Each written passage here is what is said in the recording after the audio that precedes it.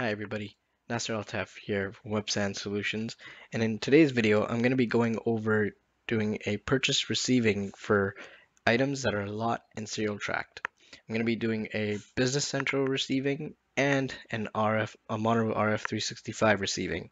So the so the location that I'm receiving into has the the warehouse management enabled.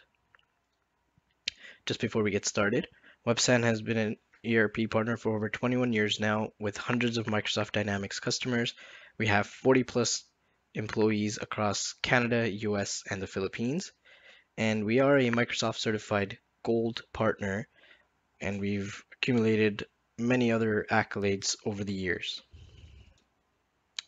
So in today's agenda, I'm going to be going through taking a quick look at the item tracking codes that are set up in Business Central. Uh, and then I'll also show you how those tracking codes are assigned on two different items on the item cards. Then we'll go into a purchase order and do a, a receiving against those items in Business Central. Then we'll do the exact same thing using the Monero 365 RF application. Okay, so getting into Business Central here, start off by taking a quick look at the item tracking codes that are set up. So item tracking codes.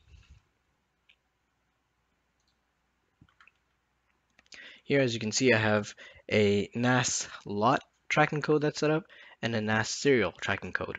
So if we take a quick look at the NAS lot tracking code, you can see I have inbound and outbound lot tracking enabled. And basically what that means is if this item tracking code is assigned to an item in Business Central, then upon receiving that item into Business Central, it will require a lot number, and upon shipping that item, it will require a lot number. Same thing on the ser the serial tracking, uh, the item tracking code for serial numbers. Um, I have inbound and outbound serial tracking enabled, which means inventory that is received or shipped out with this item tracking code assigned will require a serial number on both inbound and outbound. Now, there is additional setup where you could assign expiration dates for that particular item. I haven't done it for this demo, but if you do require that, this is where you can set that up as well. Okay, so now let's go take a look at the two items that I have created here in Business Central for both lot and serial track items. So this is my lot tracked item. And if I click into it, you can see there's a item tracking code field down here where I've assigned the N lot or the NAS lot tracking item code, item tracking code, and the the, there's a lot number series that are that's available in Business Central that you can assign as well. Similarly, I have a serial tracked item, and on this one, I have the item tracking code and serial assigned, and um, also a serial number series assigned as well. Okay, so with those two items set up, let's go take a look at the purchase orders that I have here in Business Central. So I have this purchase order that I've created.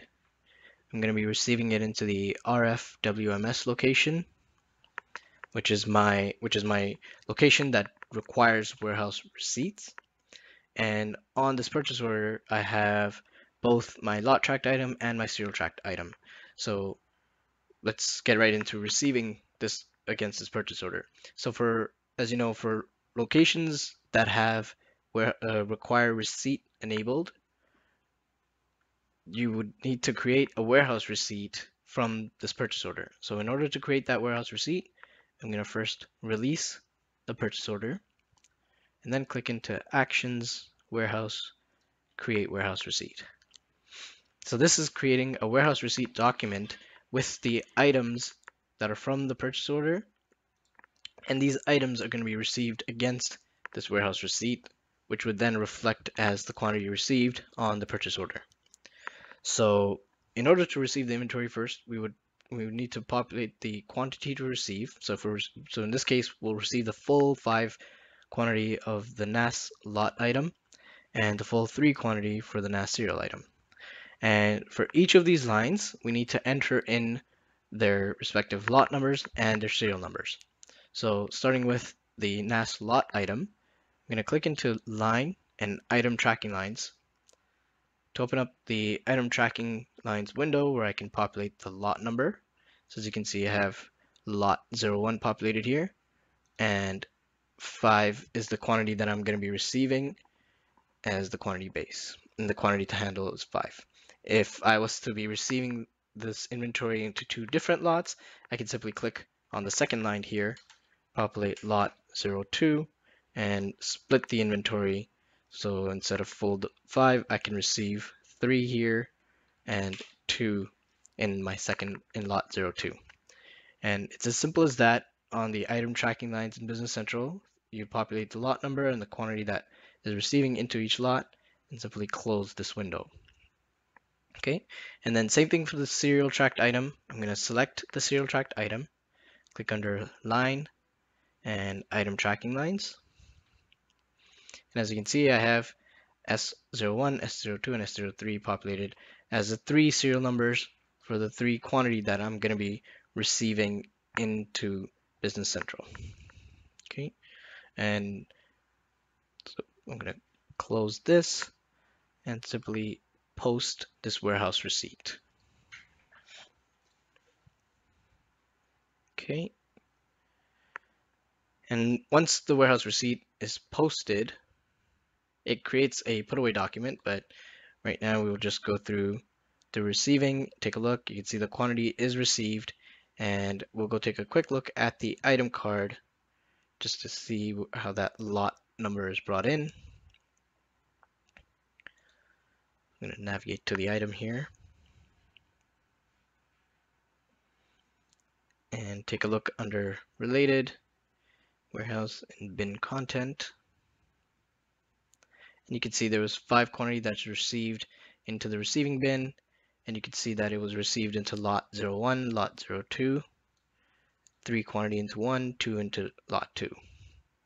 Okay, and that's the same same thing on our serial tracked item, I can take a look at the related bin content here under warehouse.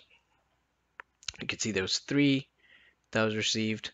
Uh, it there is I don't think I have a field here that's showing me the serial numbers for this, but I can easily also just take a look at the warehouse entries that were posted to receive the three serial numbers that were received. And if I simply just order by the entry number here. You can see serial 1, 2, and 3 for my item 1020 was received here. Okay.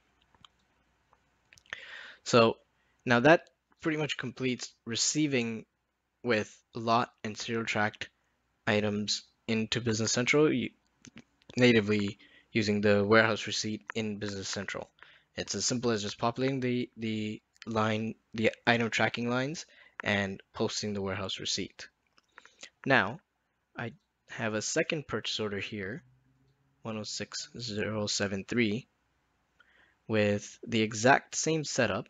So, and this time, instead of manually creating the warehouse receipt in Business Central, I'll go through doing the receiving using the RF365 barcode scanning application. So again, same thing, you have five quantity that we're expecting to receive for the lot tracked item and three quantity for the serial tracked item. Okay, so I'm gonna bring up my RF scanner here on the screen.